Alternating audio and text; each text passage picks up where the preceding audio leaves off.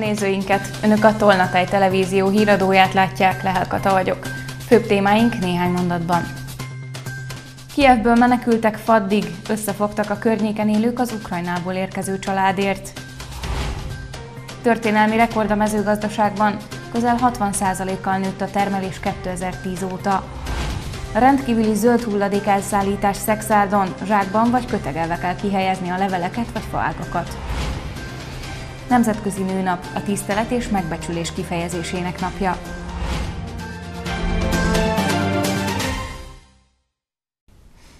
Két fiatalkorú gyermekével érkezett néhány napja Magyarországra, a háború sújtotta Kievből egy ukrán édesanya. Most már biztonságban vannak, de otthon rakétatámadás érte a lakásukat, ezért kezdtek menekülni. A családfő Ungváron maradt, itt tolnaiak és faddiak fogtak össze, hogy segítsenek nekik. A háború első éjjele február 24-e óta lövik az orosz csapatok Kijevet, a 3 milliós ukrán fővárosból azóta százezrek menekültek el.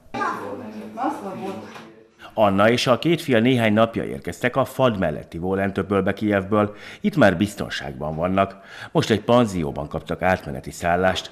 A fiatal édesanyja férje, a 7 éves és a 17 éves fiúk édesapja Ukrajnában maradt, most Ungváron segít a menekülteknek. A család február 25-én hajnalban ült autóba és kezdtek menekülni, azután, hogy a lakást, amit nem régen vettek, rakéta találat ért. Útközben a nagyobbik fiunk folyamatosan olvasta és nézte az interneten a híreket, mi pedig végig rettegtünk attól, amik ott jöttek le. Kijevből Ungvárra 31 óra alatt jutottunk el, mert rengetegen menekültek autókkal, ezért hálát adtunk az úrnak minden egyes alkalommal, amikor élve jutottunk ki egy-egy dugóból. Anna azt mondja, fogalmuk sincs, mikor térhetnek haza, és ott mi várja majd őket, de így is hálásak, hogy kijutottak Kijevből, mert az ukrán fővárosban sok ismerősük vesztette életét az elmúlt napokban menekülés közben. Egy másik család, az ismerőseink néhány nappal a harcok kitörése után próbált csak menekülni Kijevből. Őket elfogták, a szülőket és az egyik gyereket megölték, a másik két kicsi pedig kórházban van. A család ideiglenes elhelyezését Rózsa László tolnai diakónus szervezte meg, de a helyi karitász és civilek is segítenek nekik. Egy püspök barátom, a Lemberi segédpüspök hívott föl azzal a kéréssel, hogy van egy ismerős család, akiknek szeretne segítséget kérni.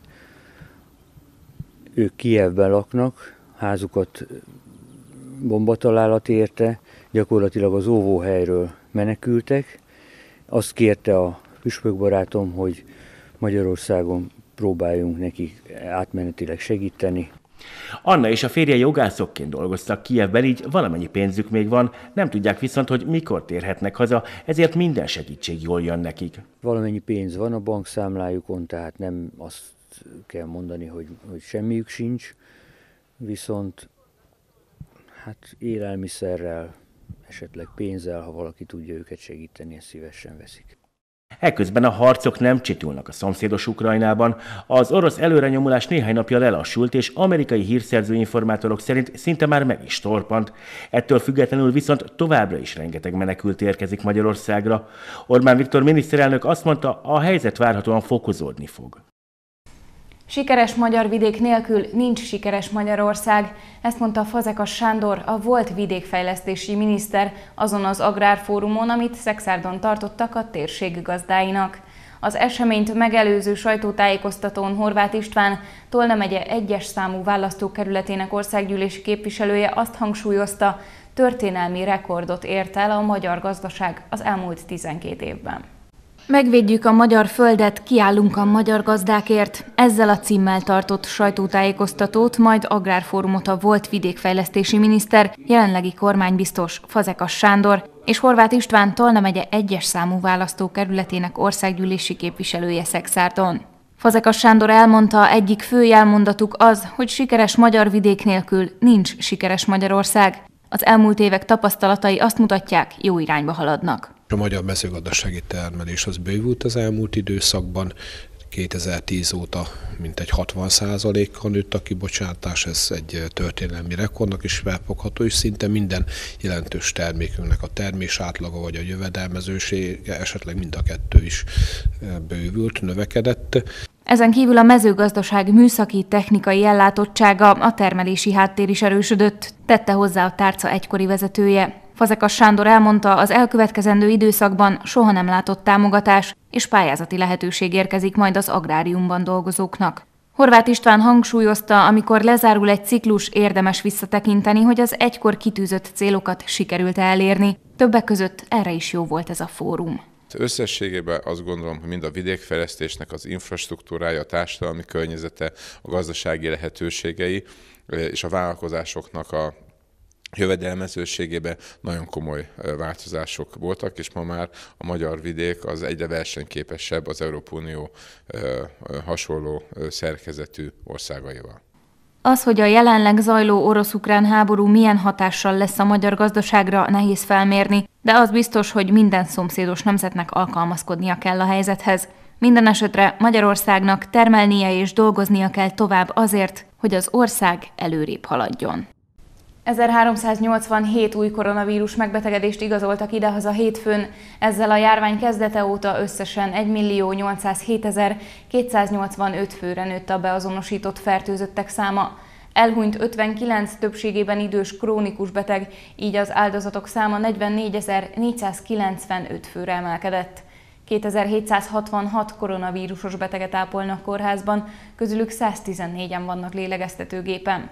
Oltást eddig már több mint 6 millió 398 ezeren kaptak. Tolna megyében 44 új fertőzöttet regisztráltak hétfőn, ezzel a járvány kezdete óta 38.416-ra nőtt a megbetegedések száma az országnak ezen a részén.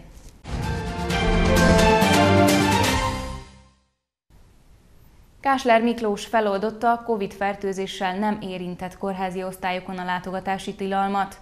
A szabályozás csak a COVID betegeket ellátó osztályokon marad érvényben, tájékoztatta a Nemzeti Népegészségügyi Központ határozatában a kórházakat. A betegek és a hozzátartozók védelme érdekében az alábbi szabályokat kell betartani. Egy beteghez naponta a legfeljebb két látogató mehet be, személyenként maximum 30 perces időtartamra, vagy egy látogató legfeljebb egy órára. A látogatás feltétele az érvényes védettségi igazolvány, vagy annak hiánya esetén a látogatást megelőző 48 órán belül elvégzett negatív eredményű gyors teszt felmutatása. Ezen szabály alól az 5 év alatti gyerekek mentesülnek. Az intézmény területén tartózkodó embereknek mindvégig maszkot kell viselniük. Március 12-én lesz az első rendkívüli zöld hulladék elszállítás Szexárdon. A szolgáltató cég által biztosított évi 10 nap mellett a Tolnai megyeszékhely önkormányzata újabb 8 napra szerződött a céggel. Varga András, a Városigazgatási és Rendészeti Osztály vezetője a legfontosabb tudnivalókra hívta fel a figyelmet. Idén is meghirdeti a rendkívüli zöld hulladék elszállítási napokat a Szexárdi önkormányzat. Ez azt jelenti, hogy a szolgáltató által rendszeresen végzett begyűjtésen kívül további nyolc alkalommal lesz lehetősége a város lakóinak arra, hogy elvitessék a portájukon felgyülemlett zöld hulladékot. Az önkormányzat biztosítta a zöld hulladék elszállításához zsákokat, ilyen biológiai, biológiai lebomló zsákokat, havonta háztartásonként 5 darabot lehet igényelni, és ezeket az Epereskert utcában a Zajszka Terra Kft-nek a telephelyén lehet átvenni. A szolgáltató ezeken kívül további 8 zsákot biztosít a lakosoknak annak érdekében, hogy megfelelő módon tudják kihelyezni a zöld hulladékot. Az Aliszka Terra Kft. eredetileg évente 10 alkalommal végez ilyen szállítást, ezt egészítette ki a megyei jogú város önkormányzata még 8 alkalommal. Az elszállítási napokat egy hamarosan elkészülő naptárban jelenítik majd meg. Fontos, hogy hulladék kihelyezése a naptárban meghatározott időpontokat megelőző napokban történjen, tehát ne egy-két héttel azt megelőzően, hanem közvetlenül a a szállítás napját megelőzően. Ez a közterületnek a rendjének a, a biztosítása érdekében szükséges, és a, és a hulladékot a, ezekben a, a, az általunk biztosított lebomló zsákokban lehet kihelyezni, vagy kötegelve. Ez azért fontos, mert a zöld hulladékot bedarálják, majd komposztálják, de a feldolgozó rendszer csak ezeket a tárolókat tudja kezelni. Majd az elkészült zöld trágyát a város területén is hasznosítják. Az első soron kívüli elszállítás március 12-én lesz a Tolnai megye székhelyen, így már március 11-én pénteken érdemes kihelyezni az elszállítandó zöld hulladékot. A Nemzetközi Nőnap a nők iránti tisztelet és megbecsülés kifejezésének napja, amelyet 1917 óta minden év március 8-án világszerte megünnepelnek. Ilyenkor a virágboltokban is jelentősen megnő a forgalom, az emberek úgy gondolják, fontos meglepni a szeretteiket ezen a napon. Szexárdon a Babics Mihály Kulturális Központ szervezői az elmúlt hétvégét szentelték a gyengébbik nemnek, kikapcsolódást, feltöltődést, egészségmegőrzést segítő programokon vehettek részt az érdeklődő hölgyek. Nőnap hirdeti a virágbolt táblája. Ez a férfi tíz darab orhideát vásárolt, hogy meglepje szeretteit. Ezek a cserepesek a belüliek. Okay, ez a tíz darab? Igen. Igen. Az üzlet tulajdonosa elmondta, minden évben készülnek az alkalomra, ugyanis a legforgalmasabb napok közé tartozik. Vannak, akik nem bízzák a véletlenre, és időben leadják a rendelésüket, hogy biztosan kedveskedni tudjanak a női családtagoknak, ismerősöknek. Hozzátette, nem csak a felnőtt férfiak, az egészen fiatalok is betérnek ilyenkor az üzletbe. A tulipán, a játszint, narcisz, mindenféle ilyen kis tavaszi virágok, mi igazából azzal készülünk a a legtöbb darabszám van, és akkor, de ugyanígy a rózsa, a, mondhatnám gerber, a minden, mindenből visznek, de ezek inkább a trendik most. Ez a szexárdi férfi azt mondja, 20 éve él párkapcsolatban, minden esztendőben meglepi a párját. Ők is az életünk része, nem is lényegtelen része, és hát ha már van egy ilyen lehetőség, akkor azt kihasználjuk. Nem mellesleg a hölgyek is szívesen fogadják a meglepetéseket, van, aki azt mondja, viszonozza is a gesztust. Persze, egy jó ebéd vagy egy jó vacsora, igen, igen. A Babics Mihály Kulturális Központ egésznapos programsorozattal kedveskedett a gyengébbik nem képviselőinek, amely során mozgásos programok, női termékek vására, pszichológiai előadások, mozifilmek, talkshow és táncos rendezvény is helyet kapott. 2017-ben indítottuk a nőnapi kavalkádot, és már akkor látszott, hogy a hölgyeket megfogja ez a programsorozat, úgyhogy én azt gondolom, hogy nagyon fontos az, hogy az ilyen alkalmakkor kifejezetten bizonyos rétegnek szervezzünk vegyesen mindenféle programot, ugyanis ez felkelti az érdeklődést. A Nemzetközi Nőnap a női egyenjogúság és a nők emberi jogainak napja, amelyet 1917 óta ünnepelnek a világban március 8-án. A Paksi atomerőmű jövőbeni működése a feltétele a hosszú távú rezsicsökkentés politikájának, a magyar családok és az ipar olcsó és zöld energiaellátásának, az ország gazdasági fejlődésének, mondta német Szilárd miniszter helyettes, a Honvédelmi Minisztérium parlamenti államtitkára, aki a napokban bejárta az atomerőmű 1-4 blokkját, és a helyszínen tájékozódott a Paks 2 projekt építési területén folyó munkákról. Pakson az Erzsébet nagy szállodában tartott sajtótájékoztatót az atomerőmű látogatását követően német Szilárd miniszterhelyettes és Süli János a Paksi atomerőmű két új blokkjának tervezéséért, megépítéséért és üzembe helyezéséért felelős tárca nélküli miniszter, Tolna megye hármas számú választókerületének országgyűlési képviselője. Német Szilárd a helyszínen tájékozódott a Paksi atomerőmű 1-4 blokkján és a Paks 2 projekt építési területén folyó munkáról. A Honvédelmi Minisztérium parlamenti államtitkára Paksot a rezsicsökkentés fellegvárának nevezte. A rezsicsökkentés fellegvárában találkozhattunk. Hogy miért mondom ezt? Azért, mert a Paksi atomerőmű jelenlegi működése és a Paks 2-vel kiegészülve jövőbeni működése, az gyakorlatilag a feltétele a hosszú távú rezsicsökkentés politikájának. És ezért is nagyon veszélyes az, amit a hazai baloldal képvisel. A baloldal az ukrán-orosz háború kapcsán a Paks 2 szerződés azonnali felbontását követeli, ezzel azonban a magyar ipar energiaellátását és az ország gazdaságát is veszélyezteti, mondta német Szilárd. A miniszter helyettes kiemelte, mi nem lehetünk elszenvedői az orosz-ukrán konfliktusnak. Mindkét politikus hangsúlyozta, az atomerőmű tud legolcsóbban, megfizethető biztonságos és tiszta zöld energia energiát adni az országnak és a magyar családoknak. Németország háború nélkül eljutott odáig, hogy nála 182 forint ugyanaz a villamos energiára, ami nálunk 37, és ahogy a miniszter is úgy mondta, ennek zálog az, hogy Paks 12 forint 20 filléré adja ezt a villanyt. Az ipar versenyképességének a biztosítása is a tét, emelte ki Süli János. Magyarországon újraiparosítás zajlik, hál' Istennek majd évi átlagban majd 100 cég települ be, ez megfelelő mennyiségű villany kell, és a villany pedig olcsó kell a környező országokhoz képest adni. A sajtótájékoztatón arra az újságírói kértésre, hogy a 480 forintos benzinár meddig tartható, elhangzott. Köztudott, hogy május 15-ig tart az üzemanyagok árának befagyasztása, de az árplafon intézkedések meghosszabbíthatók, ez függ az április harmadikai választások eredményétől is. Regionális híreink következnek. Tartós élelmiszer, tartósítószer, mindennapos használati tárgyak a menekülteknek gyűjtenek. Segítik az egyetemistákat, a PTE befogadja az ukrajnai háború elől menekülő hallgatókat. Összefogtak a menekültekért, magánszemélyek és a civil szervezetek is felajánlották támogatásukat Fonyódon. Tartós élelmiszer, tisztítószer, mindennapos használati tárgyak, főként ilyen típusú adományokat várnak a Pécsi Család és Gyermekjóléti Szolgálat és Központban.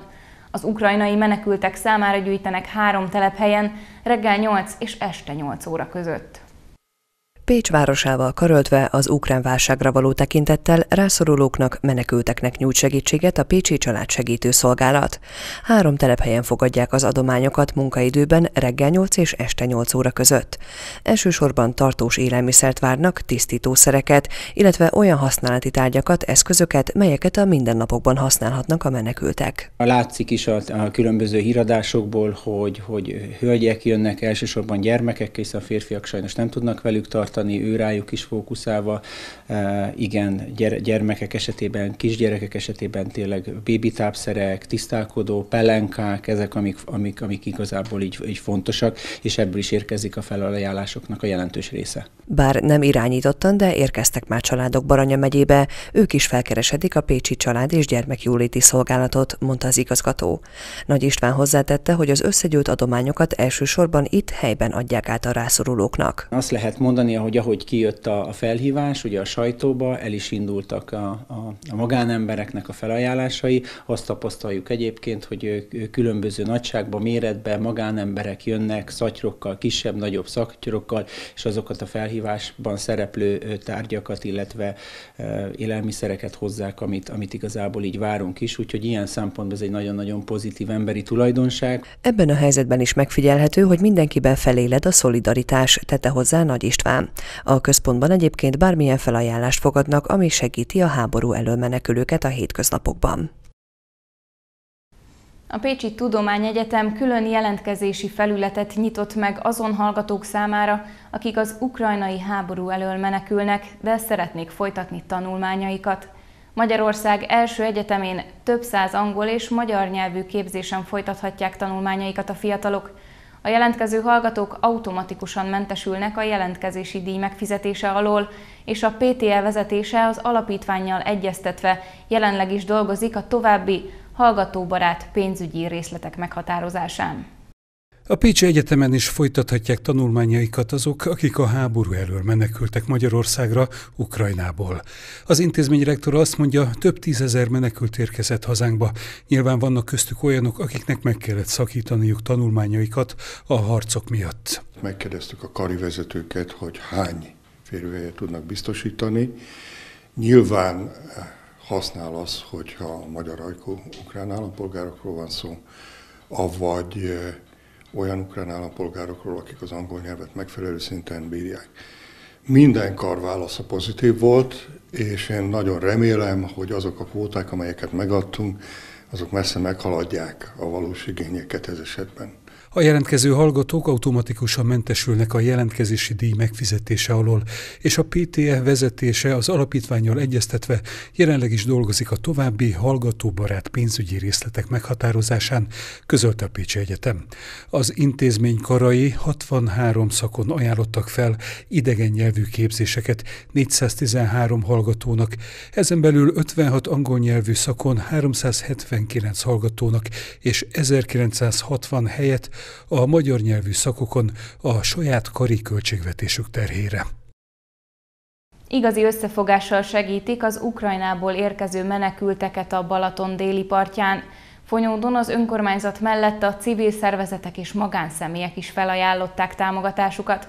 A városban mintegy 110 menekült érkezett, elsősorban nők és gyerekek. Ebben a hatalmas fonyódi családi házban több mint 20 Kárpátaljáról érkező ukrán menekültes szállásoltak el. Egy helyi vállalkozó ajánlotta fel nyaralóját a családok számára, akik múlt héten érkeztek a Balaton déli partjára. Mint mondják, nagyon hálásak, hogy befogadták őket, így végre biztonságban érezhetik magukat. Мы сюда пришли пять дней тому. Нас зустріли на границі, перевезли нас сюди. Nálunk szerencsére nem voltak fegyveres harcok, de a gyerekekkel biztonságosabbnak láttuk, ha inkább átjövünk ide. Itt fonyódon mindenben segítenek nekünk szállást, ételt és ruhát is kaptunk. Mindenünk megvan, de reméljük, hogy hamar véget ér a háború és hazamehetünk. Mondja ez az ukrán nő. A menekültekért az egész város összefogott, nem csak az önkormányzat, hanem a civil szervezetek, az intézmények és magánszemélyek is folyamatosan segítenek. Összesen településünkön 100-110 menekült tartózkodik jelenleg, ebből 80-85 kárpátaljai magyar, és körülbelül 30-40, aki ukrán nemzetiségű menekült, akiket most itt Fonyódon befogadtunk. Őnekik már pont tegnapi napon a Fonyódi óvoda, az általános iskola, a helyi gimnázium is gyűjtött, de rengeteg civil is gyűjt, úgyhogy azt gondolom, hogy Fonyód példamutató és, és példásan összefogtunk. A Fonyódon tartózkodó menekülteknek elsősorban azonnal fogyasztható élelmiszerek ételekre, konzervekre, gyermekápolási szerekre és ruhákra van szükségük. Végül mutatjuk újra röviden a legfontosabb híreinket. Kievből menekültek faddig, összefogtak a környéken élők az Ukrajnából érkező családért. Történelmi rekord a mezőgazdaságban, közel 60%-kal nőtt a termelés 2010 óta. Rendkívüli zöld hulladék elszállítás szexárdon, zsákban vagy kötegelve kell kihelyezni a leveleket vagy faágakat. Nemzetközi Nőnap a tisztelet és megbecsülés kifejezésének napja.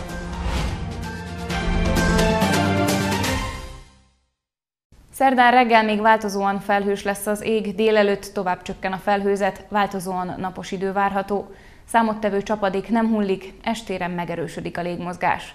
Friss hírekkel legközelebb szerdán este jelentkezünk, addig is kövessék műsorainkat, illetve keressenek minket a Facebookon, ahol naponta friss hírekkel, érdekességekkel várjuk Önöket.